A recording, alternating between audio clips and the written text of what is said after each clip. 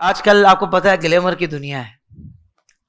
तो हर बंदा चाहता है कि मैं तरो ताज़ा नज़र आऊँ, मैं फ्रेश नज़र आऊँ, मैं अच्छा दिखूं। मतलब मेरा चेहरा भी कोई देखे ना तो कहे, यार, कितना फ्रेश है। हैं? तो बेचारे कुछ लोग चेहरे पर दाग, दबों, धब्बों की वजह से परेशान होते हैं। वो दाने निकल आते हैं। तो इसका भी कोई इलाज है रूहानी कि चेहरे पर दाग, धब्बे और जो निशानात वगैरह होते हैं वो दूर हो जाए? बेशक हाफिज साहब कुरान और हदीस की रोशनी में ऐसे अफकार दुआएँ हैं कि अल्हम्दुलिल्लाह कि आदमी का चेहरा पुरनूर हो और उसके चेहरे पर रौनक हो जी। और कई बहन बेटियों के रिश्ते इस वजह से नहीं हो पाते कि बज़ाहिर उनके चेहरे पे अगर धब्बे दाग हों। अच्छे रिश्ते होने के लिए। आपको पता है आजकल नौजवान नस्ल के नखरे कितने कि वो ज़ाहिरी हुस्न को देख रहे होते हैं और किरदार पर नहीं जाते जबकि कुरान सुन्नत की रोशनी में तो फरमाया कि औरत की दीनदारी को देखा जाए। अल्लाह इसमें अहमियत दी गई कि तुम उसकी दीनदारी को यानी उसके किरदार को कि वो मुत्तकी परहेजगार हो बामल हो लेकिन बदकिस्मती के इसमें हुस्न जमाल को ज़्यादा देखा जाता है। हम्म, ज़ाहिरी हुस्न जमाल।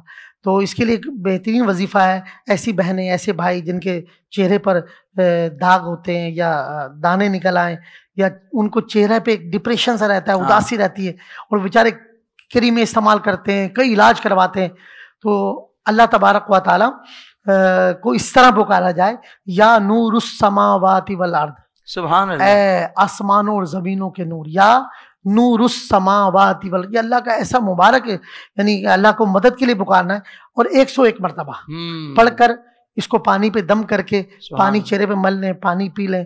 अल्हम्दुलिल्लाह या नूर उस समावाती वाला कितना आप अल्लाह। को बार बार पुकारे ए आसमानों और जमीनों को नूर। तो यकीन जानिए अल्हम्दुलिल्लाह वैसे ही तकवियत तकवीत आती है रूहानियत मिलती है। और अल्लाह ताला अपने वो नूर के की तजल्ली अता फरमा दे तो आदमी की दुनिया और आखिरत दोनों चमक जाए। तो चेहरा भी पुरकशिश होगा चेहरे पे रौनक भी आएगी। और हमने इस इसम की बरकत देखी है कई बहन बेटियों के रिश्ते नहीं हो रहे होते जब वो इसको पढ़ती हैं तो इसके लिए भी अल्लाह ताला आसानी पैदा कर देते हैं। हम्म अल्लाह सुभान अल्लाह ये बहुत अच्छा आपने वजीफा बताया है और इंशाल्लाह इस मसले से भी निजात मिल जाएगी और चेहरा बारौनक हो जाएगा।